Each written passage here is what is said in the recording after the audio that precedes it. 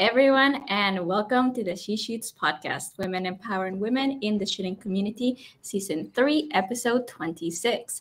Teri Bryant, Chief Firearms Officer, covering the theme of professional slash career. My name is Regina Ruiz Ordonez, and I'm from the Canadian University Shooting Federation. And joining me today, as always, are Denise Tomlin and Casey Gavinchuk from Lady Guns, and Kelly Melanson from Maple Sweet Project, Fire Radio, and CCFR Women's Program. I would like to start by thanking our sponsors, Cabela's Canada Outdoor Fund, positively shaping the future of the outdoors. Every cent donated by writing up a check goes towards helping Canadian organizations just like ours. Savage, Savage Arms, home to the Stevens single shot rifles and shotguns, Beretta family owned and operated since 1526. Vortex, the best in optics, and Canada First Ammo. If you have any questions or comments throughout the show, make sure to leave them in the chat box below. So will automatically enter you in today's giveaways. Today we have a She Shoots t-shirt and a Canada First Ammo prize pack. So that's it for me. Off to Deneen and Kelly. Thank you very much, Regina, and welcome everybody to this uh, wonderful episode of She Shoots. We're very excited to have an amazing guest tonight. I have the honor and the privilege of introducing you, Teri. So I'm going to jump into your bio, and then Kelly and I are going to ask you a bunch of questions. So, okay. without further ado, Dr. Teri Bryant was a member of the Alberta Firearms Advisory Committee. She served as the secretary of the Alberta Arms and Cartridge Collectors Association for the past 16 years and is the president of the Military Collectors Club of Canada. Bryant was an associate professor with the Haskayne School of Business at the University of Calgary on national and inter- international business. As Chief Firearms Officer, Bryant demonstrates that public safety and a flourishing firearms community are mutually complementary goals. She will ensure that we preserve for future generations a firearms heritage that reflects Alberta's values of safety, responsibility, and respect for individual rights. A major part of CFO Bryant's role is to help bond Alberta's law abiding firearms community together. Bryant has a strong presence in Alberta, connecting with stakeholders across the province to explain how the office advocates for law abiding firearms owners and the focus on safety. So, welcome tonight, Dr. Bryant. Thank you. It's great to be here. It's oh. Can you hear me? Yes, I can hear Kelly. you. Perfect. Yeah. Okay. Well, we had a little bit of problems with me buffering um, prior to the show starting. So if you can't hear me, well, then just kick mm-hmm. me off and Deneen will take over. I can hear you now. Can you hear me now? Perfect. Yeah, no, you're good. Yeah. You're good. Yeah. So we were talking before we went live, and I was, was saying to to Teri how uh, ex- she's a really experienced podcaster, and uh, we're really actually quite quite excited to have uh, Teri on the show tonight. And I'm going to wait for just a second, just in case. I think she's come unplugged. Can you hear uh, me now, Teri? uh, now I can hear you. Somehow, somehow, my little gizmo here got jammed somewhere and got reset to zero for volume. Oh no! It sounds like your giz your gizmo's reset and we're good to go. Yeah. Okay. So that just shows how experienced you are as a podcaster because it happens to us all the time as That's well. Right. That's right. so one of the things that people want to know about you is they want to know about you. Um, tell us a little bit how you grew up. Were you were you born and bred in Alberta, or did you are you a transplant to there? Uh, well, um, uh, please forgive me for this, but um, uh, I'm not originally from Alberta. I'm an Albertan by choice. There you so, go. Right? Um, so I was born in Ontario. Uh, we because of my father's job, we moved very, very frequently. I went to nine schools in my first nine years of school. Wow. What I, what I call my hometown is Orillia, Ontario, where I went to okay. high school because it's the only t- place I lived for more than a year and a half. Um, and then for my education, part of it I did on in Ontario, part of it I did in BC, and then I went back to um, went back to Toronto, lived in downtown Toronto for a while. I went back to, to BC to complete my education and then ended up in Alberta. I moved here in July of 1990. So I've now lived over half my life, the better half, in Alberta. Wonderful. It's you're an Albertan by choice. Uh, it's yes. a wonderful choice. I love it. I love it. And and what I love about that, uh, Teri, is you've got an interesting perspective from across mm-hmm. multiple provinces. Uh, mm-hmm. And I would expect that uh, you have an understanding of the firearms industry across all those provinces as well. Yeah, so, now, well, one of the things that um, you know sometimes people think of Alberta as an outlier, but actually, you know, uh, if you look at the majority of Canada, outside of a couple of metropolitan areas. Uh, the way we do things in Alberta, the way we think in Alberta, uh, is pretty widespread. It's not. Um, it's it's not really a matter of being an outlier. It's a matter of being probably more representative, uh, at least in terms of percentage of our geography. You're right. Yeah. Tell us a little bit about you growing up. I do know that you uh, were introduced to guns relatively young, were you not? Yes. So um, my uh, father's father was an avid uh, target shooter and hunter. Um, I still have um, a picture of him um, from probably taken in the early 1950s at an indoor range, and I display that in all. Whenever I'm at a gun show, I always have that there. People can see that I'm a multi generational. Wow. Um, and uh, I never met my great grandfather. I understand he had guns too, but I can't. I don't know much about him. Um, my father was an avid target shooter. He was a hunter when he was younger, um, and he was also a collector. And so, uh, mostly what I did with my memories of things that I did with my dad mostly involved going to the range and going to gun shows. Um, and that was kind of a different world back then. You know, I mean, a, a typical range was just like you went to a gravel pit that happened mm-hmm belonged to to um, uh, a gun club, and uh, to show you how long ago this was. Um, when I when we went to gun shows, when you walked in, you couldn't see the far side of the of the hall for all the blue cigarette smoke. Oh my goodness! it's been a while. oh my goodness! Yeah, so so that was quite a while. I still have my junior membership in the Ontario Arms Collectors from 1972. Wow. So, um, you know, it's if this is this is my community. These are my people. Yeah. This is uh, where I feel at home. These are the people who've always made me feel at home. Um, and uh, so it's my great pleasure and honor to now be in a position where I can attempt to uh, give voice to their concerns and help to defend them against unwarranted attacks. Oh, we love that about you, Teri, yeah. and and and I I love that uh, your comment was that you grew up at gun shows and gun ranges because every time I see you in person, you're at a gun show or at a gun range, so things have stayed the same. yeah. Well, if it if it works, if it if it ain't broke, don't fix it. That's right. That's right. That's right. So so what about your career path? Uh, let's talk a little bit about that and how you ended up where you are today. Mm-hmm. Okay. Well, when I went back to, I mentioned having gone back to Toronto after um, I, I got an undergraduate degree in Ontario. Okay. Uh, and then I went to UBC to get my MBA. After that, I went back. I worked in the Bank of Nova Scotia in international trade finance in downtown Toronto for four years. Then I went back and got my doctorate. And then I came to the University of Calgary and taught there for 25 years and uh, full time and then on and off a bit for another five years until I ended up with this job. And and believe me, I have no time for another career on on top of what I'm doing now. Um, so eh, I kind of view I'm very very fortunate in many ways uh, with this job.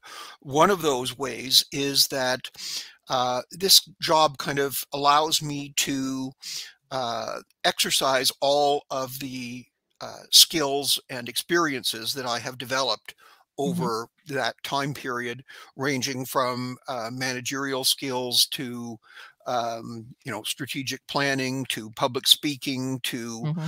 um, you know um, my French and so on and so forth. So uh, all kinds of things that uh, along the way I wasn't really thinking I mean, if you'd asked me a year before I got this job, will you, uh, what do you think you'll be doing in 2021? The idea of me being chief firearms officer was like the furthest thing that I could ever have imagined. I was not even uh, on the radar. But here I am.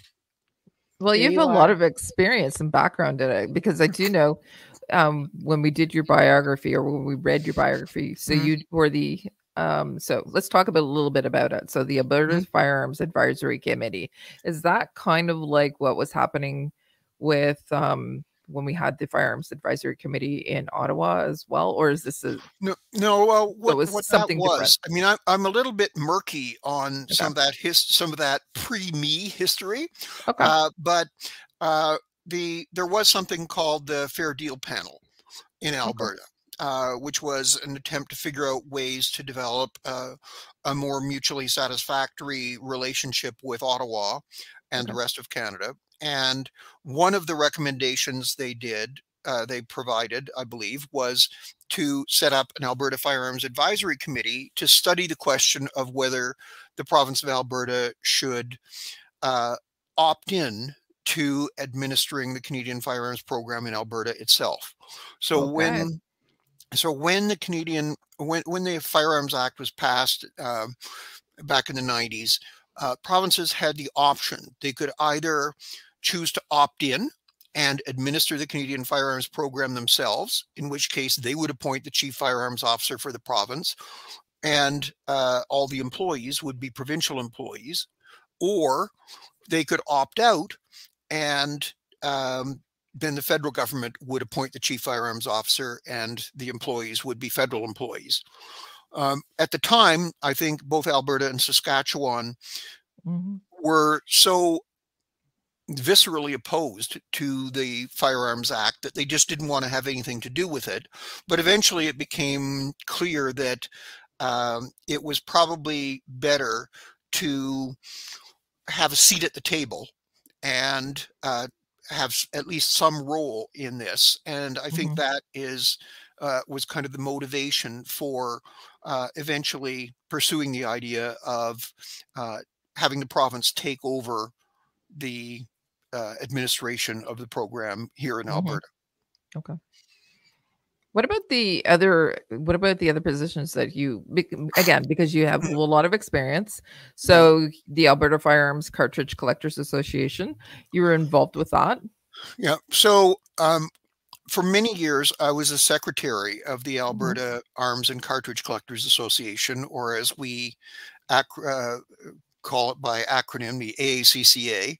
Mm-hmm. Um, and so uh, how that happened was kind of by accident. I attended an annual general meeting and it was kind of dissolving into chaos. Yeah. And so I stood up and said, well, here, do this, do this, do this. And next thing you know, I was elected secretary. Um, and if you, if my advice to people, if they ever want to become active in an organization, stand for secretary because it's a job no one wants because you actually have to do something. Um, you know, to become a director or something like that, you, you get a title and often you can kind of coast. Uh, but uh, if when you're the when you're the secretary, you actually have to do things. You have to come up with minutes and and uh, stuff like that. So uh, anyway, uh, I did that for 16 years. I had to step down. So just to be sure, be clear on the tenses, I had to uh, step down from that position when I took my current position because okay. uh, you know we are regulating their activities, so it wouldn't be appropriate for me to to have that uh, that rule. The other uh, rule that you mentioned, um, I was. Um, for, for quite a long time, I had various roles in the Military Collectors Club of Canada. Yep. Uh, and for a while, I was uh, president and um, that didn't really entail as much conflict because the military collectors club it's mostly people who are collecting medals and other militaria uh, and only peripherally firearms mm-hmm. so um, and of course my collection as, as you're probably aware is uh, focused not exclusively, but largely on uh, Japan and the Pacific War. So I have a lot of militaria, far more militaria actually, flags, banners, documents, medals, gas masks, uh, canteens, mess kits, boots, you know, holsters, and so on. I want to come to your place and have yeah. a tour. I think we, yeah, well, you know, to the opening of the military museum is what we need. Yeah.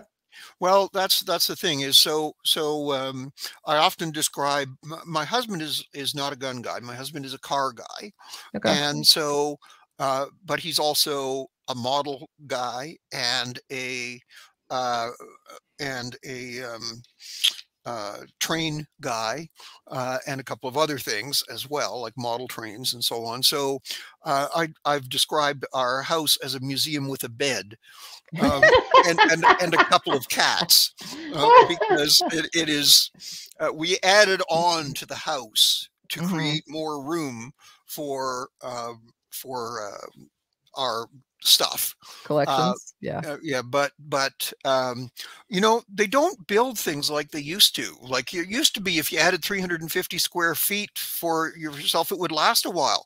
But i found it just got real full real fast you know and so um um but i i do take some solace in the fact uh, although the house is always always seems to be a little bit over full um it's not hoarding if your stuff is cool. And That's so, true. Uh, and so, um, uh, you know, we do have a lot of stuff uh, when I do have people over, which I can't have people over very often because I'm not home very often.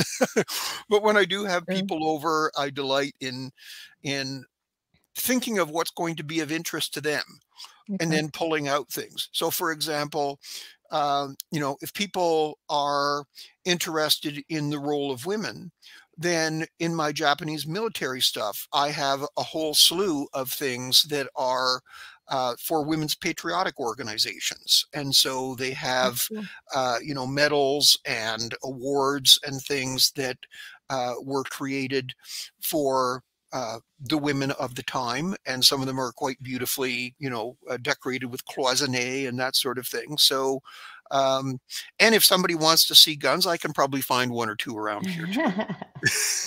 I do have Amazing. a question about that. What is your favorite one? Um, well, people ask me that actually quite a lot, mm-hmm. and it's hard to because I have I own guns for quite a few reasons. Mm-hmm. It's hard to say specifically because I mean, for for example, for each discipline that I might be involved in, I would have a favorite gun. Uh, mm-hmm. Then also for collecting. So for collecting, for example, I have the, the first baby Nambu I got. I'm very oh, partial wow. to. Um, and it's a very very rare gun. There, uh, mm-hmm. uh, there's only about four of them in Canada, I think, and I own two of them. Um, and they only ever made 6,500. So that's kind of a favorite. For target shooting, uh, my favorite gun actually is one that I inherited from my father. Um, and it is a high standard Supermatic citation military. So this is an old fashioned uh, bullseye target gun. Um, and back in that those days, when people shot bullseye, they would shoot usually uh, either a revolver or a 45 and a 22. And so if you were shooting a 45, uh, like it'd be a Colt 1911. The range of guns was not quite as broad back then as it is now. Yeah. And so this gun actually has a grip that's very much like a Colt 1911. It was designed to facilitate people going back and forth. And anyway, I find that gun, gun very easy to shoot accurately, at least as accurately as I'm capable of doing. And um, I don't have a lot of time to do reloading right now, so the fact that it fires 22s is is an added bonus. Wonderful. That's, yeah, that sounds like quite a collection, and you can hear the pride of ownership. And I, I love that yeah. about this community. We all have our niches of uh, of areas of interest, and that's pretty cool. Yeah. So, and, and I, yeah, and I have guns that belong to my grandfather mm. as well as guns that belong to my father. So, you know, there is a, a sentimental attachment to some of those things as well. Of mm-hmm. course, uh, I uh, I can appreciate that. I have some of those myself. So, why don't we uh, why don't we transition a little bit, uh, Kelly and Teri, over to the role of CFO? And uh, and as much as I would love to talk about your collection and all of those things, uh, let's talk a little bit about why Alberta has a CFO and what that CFO role is responsible for for the province of Alberta, vice Canada itself. Yeah. So, um, if you'd asked me that question, it's a good thing you're asking me that question now, because after about two years, I'm starting to understand what it is.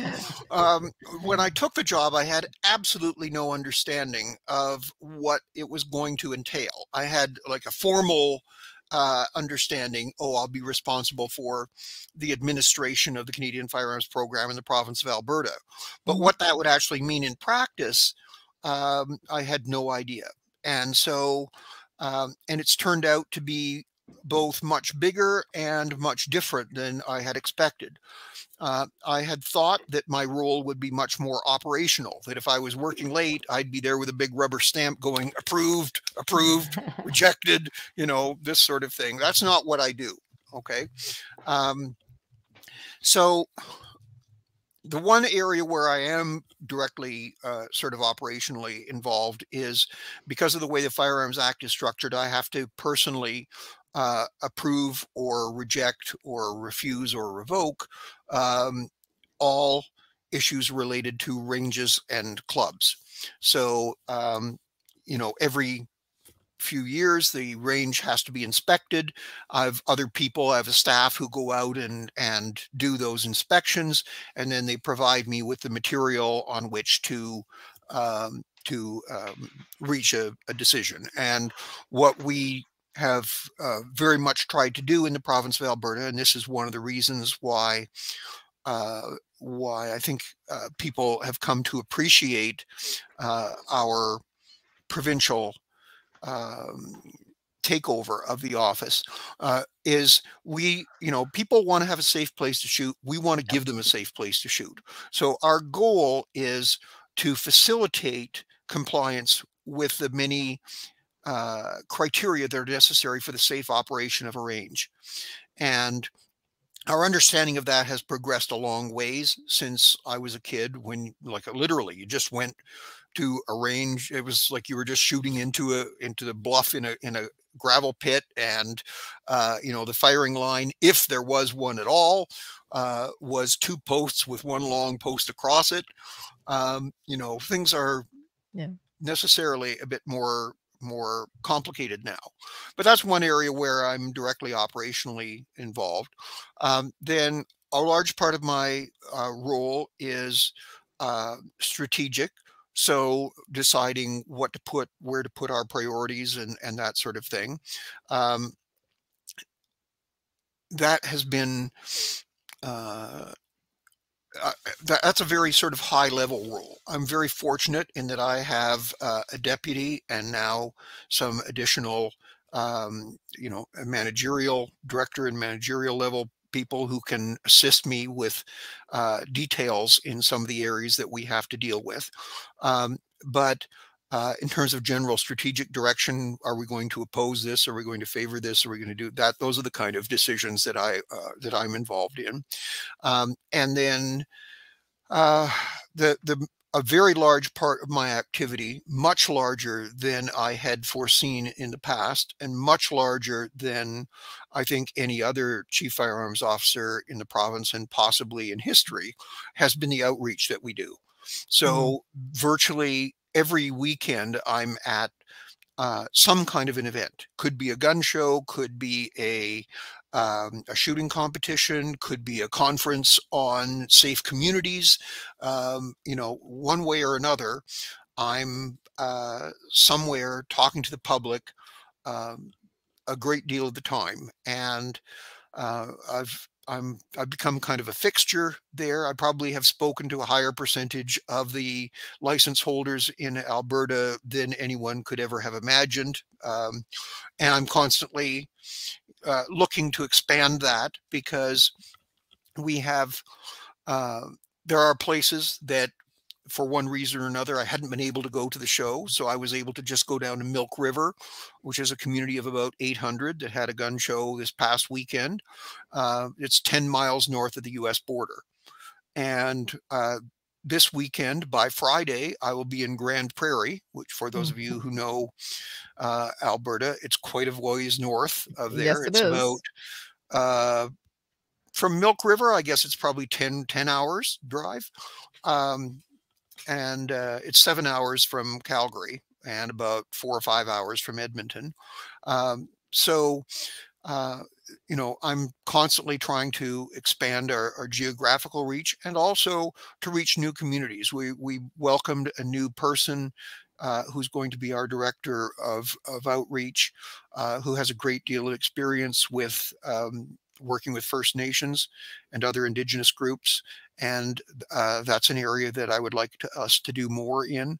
Um, and so we are constantly looking to uh, ensure that all Albertans, whether they are uh, the people who were here before the arrival of uh, Europeans, or whether they are longtime Albertan ranchers, newcomers, men, women, um, you know, of whatever, uh, you know, uh, group they may identify with, that all of them uh, have access to the services that our office provides, and that all of them are able to um, make informed decisions about uh, joining the firearms community and becoming responsible members of it. Thank you, Teri. I just want to put a pause on that for a moment. You and I were speaking around Christmas. You came to one of our CCFR Gunny Girl calendar signing events, and you shared with me the statistics of your 2023 travels. Do you recall the numbers you shared with me on on distance traveled and appearances and people spoke to?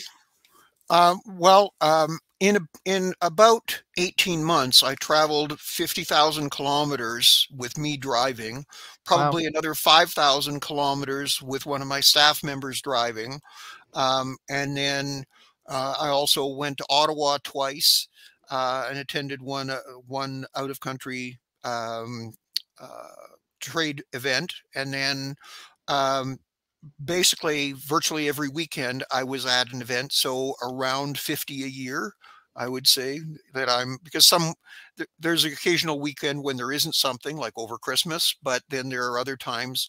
Sometimes I've managed to do two gun shows in a weekend. You know, there was um, uh, for those of you who this may sound um, uh, you not might not appreciate the distances, but if you're if you're in Alberta, then uh, I attended a one day show in Crowsnest Pass, drove from there to Calgary, and then the next morning I did the show in was attended the second half of the show in Olds, which is just north of Calgary, uh, maybe an hour north of Calgary. Right. So uh, I try to um, make sure that uh, people have access to me so that not because I'm a, a celebrity per se or something like that, but because uh, they want to know what's going on. And um, and so uh, to the extent that I can, occasionally there are matters that are too confidential for me to disclose, but to the extent that I can, I tell them exactly what we're doing, exactly where the what my understanding of the lay of the land is um, federally. Um, you know, we've been very fortunate to have very, very strong support at provincial level from the premier to the ministers that I've served under, uh, mm-hmm. the cabinet, the caucus. Everyone has been very supportive. Unfortunately, that's not the case with the federal government. Um, I do have very good relationships with a number of Alberta MPs, um, but um, you know, people want to know, and yeah. uh, I feel it's my responsibility to help facilitate that, particularly in today's environment where reliable information can be difficult to get. There's no shortage of information. um, but whether that's misinformation or disinformation or real information uh, can sometimes be hard to to tell. So I just want to say nobody appointed me uh, the voice of Alberta, but on behalf of Albertan gun owners and those people interested in the firearms industry, I want to thank you when we started posting uh, that you were going to be our guest this evening, uh, I received a lot of uh, just comments on my social media pages saying, "We are so fortunate. She's an amazing woman. She's a great representative." Yeah. So, uh, so uh, yeah, on behalf of anybody who was following, I, w- I want you to know there was just a huge positive shout out for you uh, in general and for you coming on to the podcast tonight so well thank you that's very yeah. that's very gratifying to hear and and you know i want people to know that i take that very seriously that the fact that people are looking to me um, i feel a great sense of responsibility to do the very best i can not everything is within my control but um, but I try to do the very best I can to ensure that people are well represented and Um, we may not win every battle, but I'm sure we'll win the war. And um, so I just do the best I can uh, in every in every way that um, I perceive there's an opportunity to do something. Uh, outstanding, and we and we thank you for that. So let's talk about uh, you being an influencer. Yeah. It, is there do you do you influence firearms policy or legislation? Do you uh, do you have a hand in uh, how that that works, or do you just get to be the voice of reason from Western Canada? um, well, a little bit of all of the above. Okay, okay. so um, at the at the positive end, uh, within the province of Alberta, um, you know, my my job level is um, I report directly to the Minister of Justice. Okay, um, and so I have I also have a some uh, I kind of directly report to two people. I directly report to him on policy matters, and for administrative matters, I report to someone in the in the Ministry of of Justice, uh, who's also very supportive of us. I would add. Um, so, at the provincial level, um, I probably play somewhat the role of subject matter expert in uh, in the province. And so when issues come up, uh, I think that I'm quite influential um, in shaping provincial policy. It's not my final decision. Uh, you know, obviously, our, our, minister, Minister of Justice Mickey Amery, right now, or pr prior to him, Minister Tyler Shandro, or uh, before that, briefly, there was um, uh, Minister Sonya Savage, and before that, Minister Kaycee Madu. Um, so all of these people are the ones who sort of have the, the that I report to, but they would listen to me generally because um, although they had varying degrees of familiarity with the the issue, uh, I'm the one who is sort of most directly involved. Uh, and if I have one one uh, you know, really positive thing to say about the Alberta government uh, in this area is that they do want to listen to people who know what they're talking about. And so right. if I can convince them that I know what I'm talking about, then they will listen to me. And uh, so, for example, when we were working on the Alberta Firearms Act, um, I played a significant role in working on that. Of course, we had to have lawyers to do the drafting, and there were policy decisions to be made at a higher pay grade and so on. But I, I was quite, I would say, influential in that area. Then it's a whole different ballgame when you go to the federal government uh, because, you know, but you also have to differentiate that there is a, uh, when you say the federal government, there's a federal bureaucracy Okay. And I mm-hmm. don't mean that in a pejorative term, but I mean the federal official, you know, permanent civil service structure. And then there's the political level. Um, and even within the political level, of course, there are there's the Senate and there's the House of Commons and so on.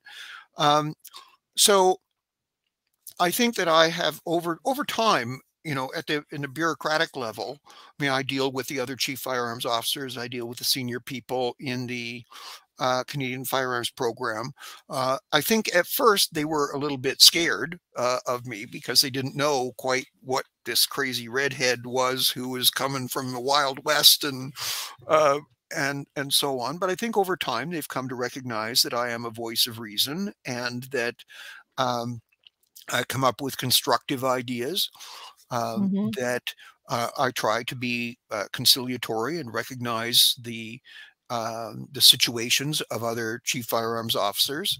Um, most chief firearms officers do not have the freedom of, uh, of maneuver that uh, I do or that my uh, colleague in uh, Saskatchewan does. Um, so, you know, we all have to work together and recognize that there are, um, each of us has a different sphere uh, of okay. action. Um, then at the higher levels in the Canadian Firearms Program, um, beyond the other uh, chief firearms officers, I think I've also earned a degree of, of grudging respect that I'm not coming up with crazy ideas that um, that everything that I do is uh, motivated by a desire to improve public safety. And um, even when I'm talking about things that improve service levels, improving service levels, which gets more buy in from the community that's being regulated, that is mm-hmm. the best way to achieve public safety. Uh, you know, it's this, it's the principle behind community policing. You know, if you want to reduce crime, you don't go in there and start swinging billy clubs around and breaking heads. You go in and you develop relationships with the community, and that's how you will, um, you know, in the policing world, get a get a, a better result generally. Um, and so, people have come to realize that there is sort of a method to my madness that I might not be doing things exactly the way that they have been done in other places, but uh, you know, I have had a receptive audience there. I've been allowed to do presentations at chief firearms officer conferences, and people have expressed um, respect and sometimes even admiration for the way that we have approached some things.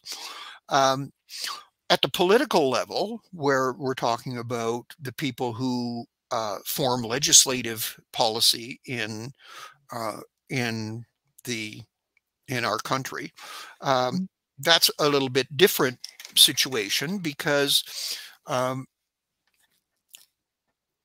that's governed by different considerations than logic or rationality. Um, and so um, there's a, there's a large element uh, of like when I, when I would go if I go into a committee meeting, um, I generally know exactly how everybody's going to vote because I know their party affiliations and that's what they're there yeah. for. Okay. But even there, you know, you develop relationships with people so that they come to uh, understand and respect you. And so, um, even people who ended up not voting the way that I would have liked them to vote understood where we were coming from and um, so, you know, for example, in the Senate, they didn't make any amendments, but I think I won friends in the Senate so that if later we go back to the Senate, I'll have a relationship with those people that will help to help them to come to terms with coming to reaching a different decision and voting in a different way on on perhaps legislation that that might be more amenable to Alberta's interests. So um, so there, it's also a matter of when you go before these committees, you are earning, you're attempting to earn the respect of everyone there by means of uh, of the quality of your answers and uh, and how well prepared you are, and you know little things like being able to answer the Quebec delegates in uh, Quebec, uh, members of the committee in French, and things like that.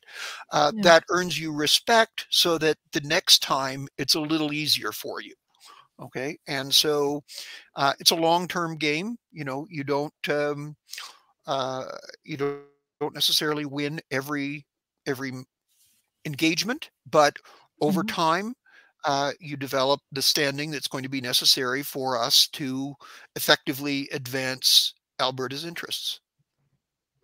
Thank you so much. So I do have one question on provincial CFOs. Uh, if you are all working together, uh, is there opportunity for a combined voice of uh, mm-hmm. from a provincial CFO level to uh, to uh, to work towards a federal position uh, where where there's some influence coming from the ground up? Um, well, that's a that's a very complicated question. Okay, um, because uh, as I alluded to before, chief firearms officers have different jobs. Uh. Okay, so uh, there are now seven provincially appointed chief firearms officers mm-hmm. and three federally appointed ones. The federally appointed ones um, obviously must be circumspect uh, in criticizing federal uh, yes. initiatives. And then, even amongst the seven who are provincial, two of them are serving police officers. So obviously, the, they have a limited scope for uh, taking policy positions. And uh, it's really only Saskatchewan and Alberta that have the explicit mandate to uh, discuss big picture policy items. But what we do do quite frequently, like we, every year, we meet at least once, uh, now generally twice, um, for chief firearms officer conferences, is that we work on the details of how we're going to administer things. And um, I think there was some uh, there was some concern even amongst people who would never generally question policy, uh, big picture policy issues, uh, at how there hadn't been a great deal of thought in the last package of measures, last couple mm-hmm. of packages of measures, about how that was going to affect the work of chief firearms offices. Not mm-hmm. not like they'll do, you know, these are people. If when you're in the public service, then you do um, what the political masters say, but uh, sometimes it's not easy to figure out how you're going to do that given the resources that you have and the legal structures that are in place and so on.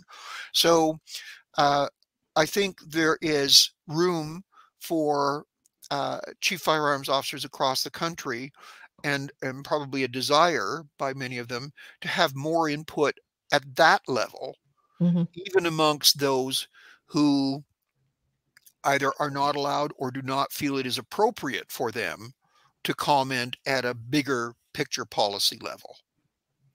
Some of those changes or some of the policies that were implemented were done so without consultation of the CFOs in the provinces. Specifically, well, we certainly never got consult- consulted. no, but there is the expectation that the staff that work for you or with mm-hmm. the, the public in those provinces um, are able to fulfill those roles or the responsibilities that they're putting on the CFO's office, specific to whether it's a transfer, ATT issuing, or transfers or anything like that. We saw that with Bill C-21. Yeah. Yeah. Uh, well, you know, um, the, the good thing about time is there's lots of it. It's going to stretch out as far as we can see. Uh, yeah probably longer than I'm going to be around, probably longer than you're going to be around. And so that time gives us the opportunity to fix things. And there's certainly lots that needs to be fixed. That is a true point. So speaking of time, let's talk about uh, let's talk a little bit about the future and where mm. we see firearms policy going. Mm-hmm. And what we can do as gun owners to support you as the CFO, the collective CFOs mm-hmm. across, mm-hmm. um, to to ensure that our future is bright and that we uh, help Father Time uh, mm-hmm. set things in a correct measure, set, set things uh, in in favor of uh, logic and common sense. No, anyway. So what's the what's the future look like, Teri? Uh, well, if, that's going to be up to us. By the way, I always thought it was Mother Time, isn't it? Mother Time, fair enough. in, in, the spirit of International Women's Day and Month, I think it is Mother Time. Yes. So, um, I mean, what the future is uh, is going to be like is going to be up to us. Uh, it's mm-hmm. going to be up to the people of Canada, and it's going to be up to the firearms community. And um, so, what the people of Canada decide at the ballot box in the next election, I think, will be quite um, decisive in shaping the future of the firearms community and whether there will even be one uh, in Canada. And um, then uh, the firearms community itself, though, I think, uh, has a very important role to play in that process.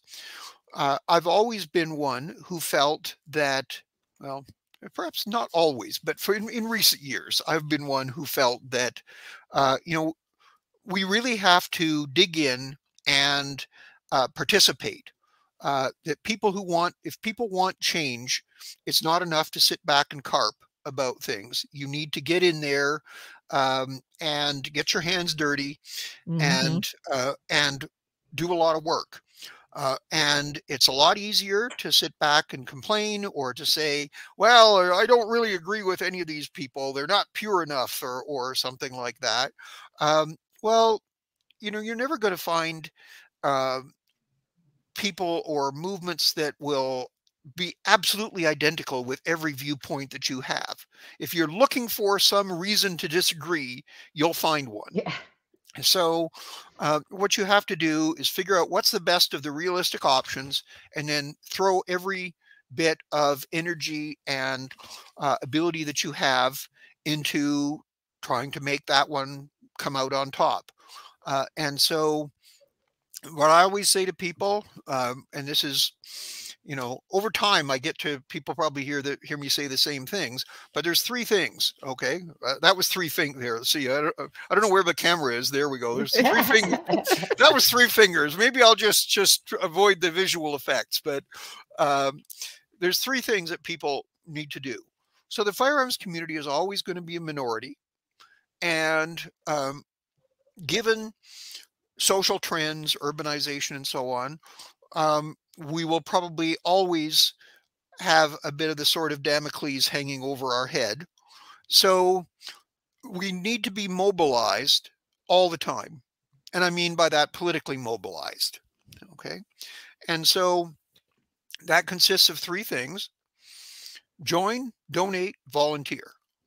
So join organizations and political parties that support what you believe to be an appropriate approach to the firearms community. And uh, so that could be, uh, you know, there are uh, three major firearms advocacy groups in Canada. Uh, and there are also many others at the, um, you know, more specialized ones that uh, deal with uh, groups, university students, women, different um, ethnic groups within our society. Um, so on the one hand, there are those, um, and uh, even more important, perhaps, though, is political organizations. And so, uh, at both the federal and provincial level, uh, there mm-hmm. are uh, political organizations, some of which are favorable towards the firearms community and some less so. And so if you want the ones that are more favorable to uh, to come out on top, you need to join them.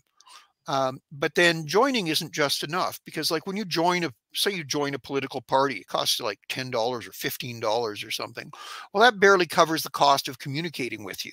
And similarly, if you join one of the like the big three advocacy groups, it'll cost maybe $45. But by the time they give you a gift and send you a magazine or something, that eats up the $45 too. So people really need to donate. Okay. Uh, and so uh, that's a an, that's a difficult topic right now because yeah. I mean everybody's facing cost of living issues and you know um, affordability concerns, but it's when those concerns are pressing that you discover what's most important. So someone once told me if you want to find out what is important to someone, don't ask them. Look at their bank book and their calendar. And where they're putting their time and their money, that's what's yep. important to them. Exactly. And so my rule of thumb uh, is that every member of the firearms community should every year give to some combination of organizations or political parties at least the value of one typical firearm they would buy in a year. So if you are a person of modest means and you buy $300 guns, give $300 a year. If you're a rich person and you can afford those uh, those uh, $20,000 custom made guns, then uh, do that. And um, and then uh, also, um, you need people need to volunteer. And there's an enormous amount of work to be done volunteering. So, uh, volunteering can be many different things.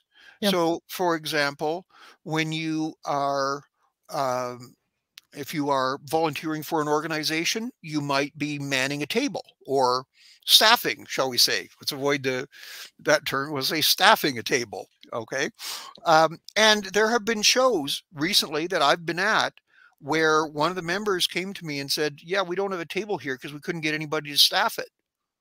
You know, everybody is busy. I know this more than anyone because mm-hmm. of the hours that I work. Okay, um, but that's again how you just how you show what's important to you. What are you prepared to to devote time to? So you could be staffing a table. Uh, you could be doing outreach, talking to people. Um, and you know, once you get into this mindset, then you know you will become a salesperson because every time you meet one of your friends, you'll be talking about things and it'll give you an opportunity to sit down and explain to them about the firearms community. Um, it you you know when your uh, when your relatives ask well what were you doing on the weekend? there's an opportunity to explain to people what you what you were doing.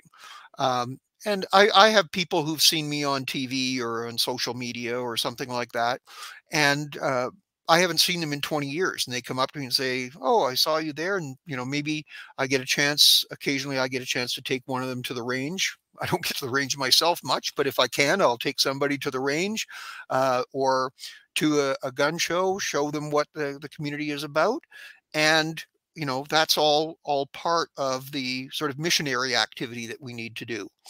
The the the other part that I think is really critical in that volunteering aspect of mobilization um, is working with political organizations.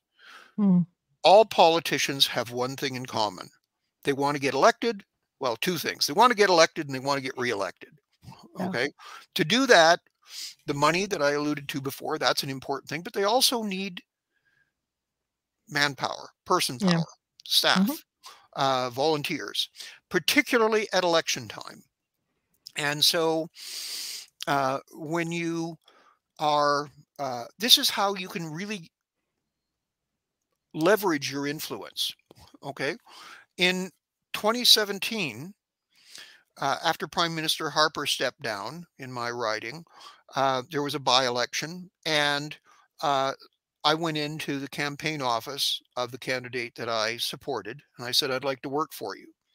And they pointed me to the corner and I put together 450 lawn signs that afternoon. Three years later, I was the president of that constituency association, and mm-hmm. I was writing material for the member of parliament. Okay, so uh, this, if you put in the time, you will get yeah. the influence. Okay, because who are the who are these members of parliament or um, MLAs or MPPs, depending on, or I guess in, Newfoundland they call them MHAs. I discovered. Uh, how are these political representatives? You know, who do they listen to? Well, they listen to the people that are helping them to get elected. And so, um, if you are a hardworking member of their uh, volunteer corps, and you have sensible, well-reasoned opinions. You don't come across like a a belligerent uh, person, but someone who has reasonable uh, approaches. Um, you will get influence. Okay, mm-hmm. and that's what we need to do. And some people might say, "Well, oh, but my writing." There's, you know, there's no hope of electing someone here who would be favorable to us. Or on the other side, they might say, "Oh, but our writing is a is a lock anyway. You know, they, we always vote uh, a certain way. Yep. Well, there are in every area there are marginal constituencies. Okay, um, we saw that in the last provincial election when there were many many ridings that were settled by, in some cases, a handful or perhaps a few hundred votes. Um, and so in those ridings, the people who are safe candidates would often help to organize brigades, if you want to call them that, to help go and do door knocking or things like that in one of the neighboring ridings that wasn't so safe. And so there's a huge amount to do.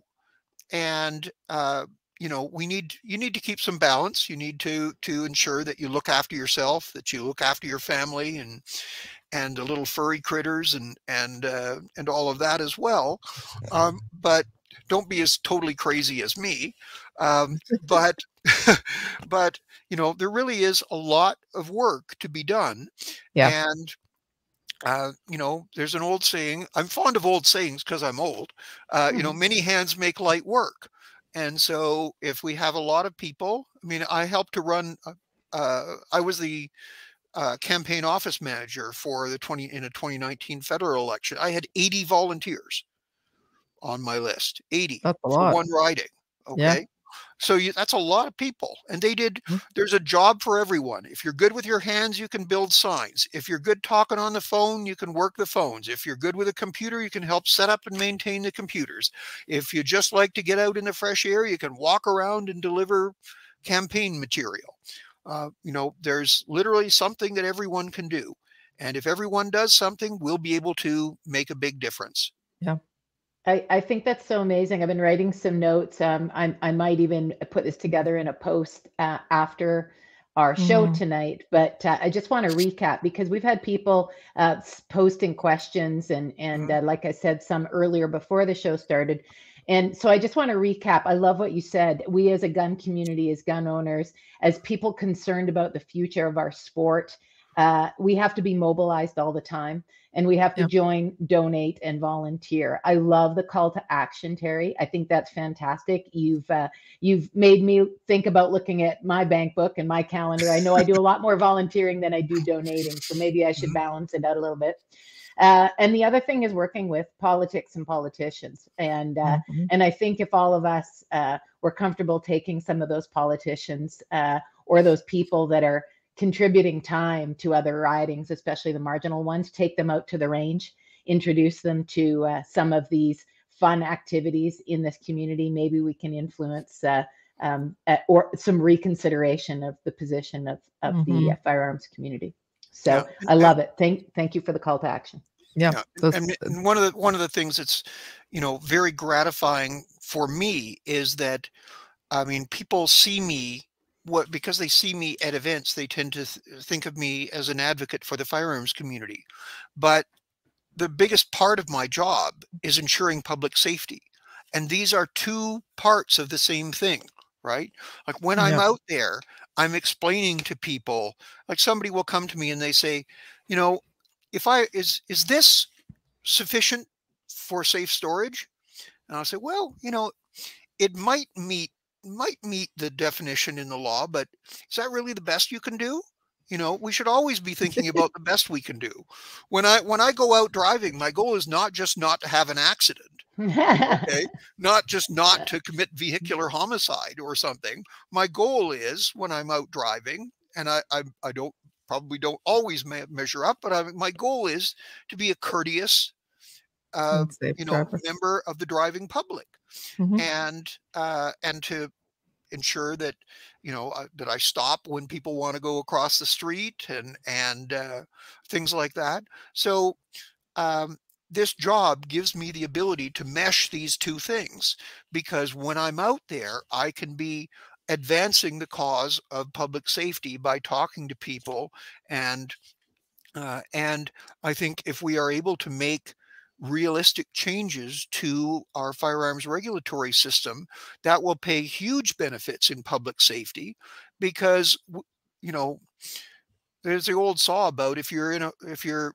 if you want to get out of a hole the first thing to do is stop digging and so if we want to have more public safety the first thing to do is stop wasting money on things that don't work Correct. and so you know things like uh, the idea of uh, buying up guns from people who have been paying attention to the law and safely storing them in a safe in their uh, for for four years so far, and it'll be five or more before before the the current amnesty extend uh, uh, expires. You know, what's the benefit of that? There isn't one. Okay, mm. so let's stop doing stupid things like that. I think everyone is coming to recognize that the federal government needs to gain better control of its spending, even those who have been at the helm uh, are are recognizing that, perhaps belatedly and perhaps not enough. Uh, but everybody recognizes that that you know um, taxpayer dollars come from taxpayers. They come from you and me. That money doesn't isn't just spun out of nowhere. And mm-hmm. every dollar that you are wasting on some cockamamie idea is a dollar that isn't available to either leave in people's pockets so they can pay their rent and their groceries or pay for something that is actually uh, in great demand, like ensuring that uh, we have good health care and education and uh, public safety. Uh, you know, that we look after the people who are less fortunate in society and things like that. So, um, you know, we need to uh, we, we need to have a, a reevaluation of uh, what it's worth doing and I think a lot of the things that have been proposed or even enacted in recent years on the firearms file would not meet that test. No, I, I, agree. I totally agree. Absolutely. So I've just noticed we're at the top of the hour and uh, we know you're an incredibly busy woman. So I think what we need to do, we always have one question uh, that we like to end everything with. Uh, and and that is with regards to women in the shooting sports. So mm-hmm. before we get to that question, um, mm-hmm. I want to I want to reserve the right to call you back because I think we have a lot more we could certainly talk about. So, I agree. I'd love to. Excellent. Thank you, Teri. So Kelly, why don't you ask Teri the question we ask all of our beautiful everyone wonderful all, yeah all, help all the, the women in the in the shooting community and uh, and the firearms uh, uh, sports Sure. So, Teri, our question is Do you have any final words of wisdom for young women who are trying to get into the shooting sports or, and just in general, into the firearms um, industry or occupation? Um, well, uh, so that's that's actually kind of totally separate. Uh, well, yes. uh, totally, totally separate uh, uh, things. As far as being part of the firearms community, uh, I would say, um, you know, if you look at the the demographics of the firearms community, I'll, I'll, it's not. It's becoming more diverse, mm-hmm. but there are still a lot of people who um, fit the typical profile that you would think of, like, um, you know, uh, older rural male uh, people, but they would like to. Uh, I think these people want to uh, see a more. Uh, they want to see a vibrant firearms community, and they might not have the interpersonal skills to uh, be a good mentor, obviously, but if people persist a little bit and can have a bit of a thick skin, uh, then they will, these people will um, come around you know like they they want to see people and if you see someone and they they might not think you're serious at first but you show that you're serious and yeah okay well uh, you know i guess i i guess i could show her you know and, uh, and and their language might not be exactly appropriate. They may refer to you as little lady or something like that but um, nobody refers to me as little lady unfortunately as given my stature but me um, neither. um, I feel you. But, yeah, but but um,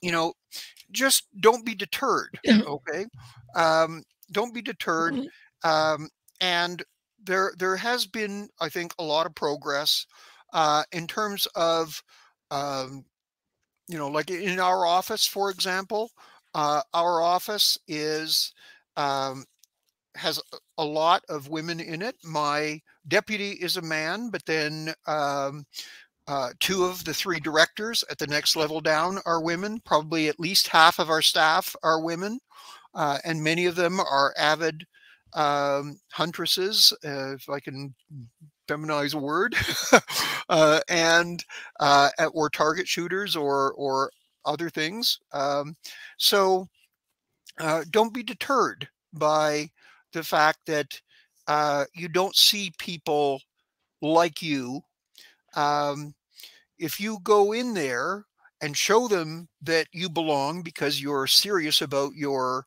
uh, commitment to the sport, then you will earn respect and it'll be mm-hmm. that much easier for the next person, for the next woman who comes along. And if she does the same, then it'll be even easier for the one after that. Um, so um, have a bit of a thick skin. Don't be deterred. And uh, I think we will make progress. I love that. Pave the yeah. way for the one behind you. I think that's fantastic, yeah. right? And as we continue to pave the way, the uh, the need for thick skin might not be quite as uh, much of a requirement. So yeah, yeah. I and- I believe it's in anything that we did talk about, whether it's through getting into the sport, whether it's a career or the industry within the firearms industry as well. Yeah, Absolutely. Well, I mean, that's how uh, people people have to understand that you know the world can be a bit of a rough and tumble place and mm. everybody didn't graduate from i'm probably dating myself the emily post school of courtesy or whatever uh, you know um, but I, I firmly believe that most people are good-hearted yes. and um, you know sometimes there's a bit of a crust to get through um, but once you get below that crust then um, the tenderness that I think is in everyone will come out. Well, I think we all uh, we all love the the sport and the pursuit of it. So we just have to get the through the crusts and the curmudgeons and have a thick skin. I got it. Got it. That's that that resembles some of my experiences early days. So absolutely. Mm-hmm. So um, we're gonna we're gonna flip it back to Casey and Rahina for a couple of questions. Uh, we are over time, so we'll only ask a couple. Yeah. And then Rahina has to uh, certainly thank our sponsors. But but before uh, they do that, I, I want to thank you, uh, Teri, for everything you do for Alberta, for the mm-hmm. firearms mm-hmm. community, uh, for women in shooting sports, and uh, and thank you very much for coming on and joining us tonight. Like I said, we'll we'll call on you again uh, later on in season three, and maybe we'll we'll get to yes, talk about some of the absolutely. policies or some of those things. So so yeah. thank you very much. It's my pleasure. I'm always happy to to contribute any way I can.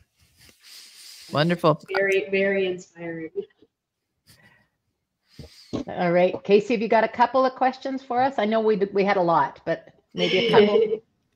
yeah. Um, okay. So um, the first question that I've got is from Jamie uh, Lee, and she's been a um, she's been somebody that we've interviewed on our show before. She puts on a bunch of ladies' days. So her first question was, "Would you come out to a ladies' day?"